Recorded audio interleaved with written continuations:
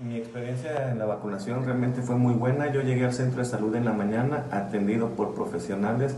Me picaron aquí, no sentí nada. Solo me dijeron que si tenía alguna indicación, alguna reacción, pues tomaron una pastilla.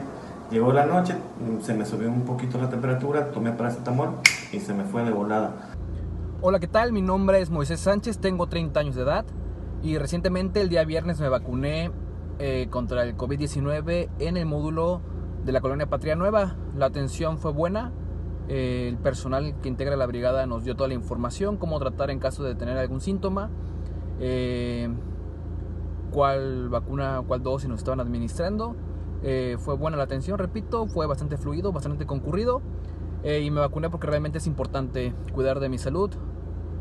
reacción como tal, solo tuve dolor en el brazo de donde aplicaron la dosis y ya, no presenté ningún otro síntoma. Durante el fin de semana después de la aplicación tuve eh, malestar en el brazo, dolor fuerte, me subió la temperatura, tuve febrícula a 37.4, 37.5 toda la noche del día este, sábado.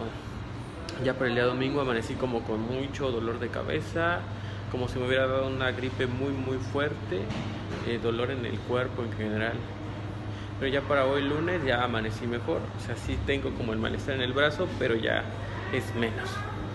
Bueno, en mi caso la vacuna no me provocó ninguna reacción que me impidiera continuar con mi rutina diaria, solamente un poquito de dolor en el brazo y un poquito de malestar al dormir, pero todo bastante bien.